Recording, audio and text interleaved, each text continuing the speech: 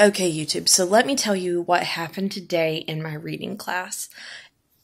So, we were working in a small group, and these were not my highest level readers, but we were still reading the story together, you know, working through it, and I'm like letting them sound out the words they don't know themselves and just kind of push through, right? Even if they're struggling, let them push through because, you know, they, they need to be more independent.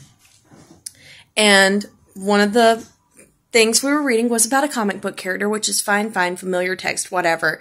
We get to one part in the story, and this girl is reading, and oh my gosh, the word character comes up, and you know, these kids, they'll just guess a word that starts with the same letter versus trying. That's pretty normal. But she's like, and the characters, but instead she says, and the copulations.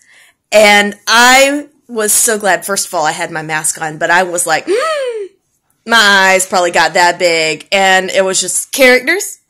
We fixed it. We got there.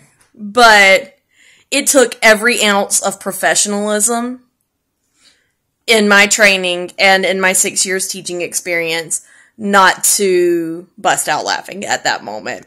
And I'm just so thankful because these are sixth graders that no one else in the room heard it and said anything.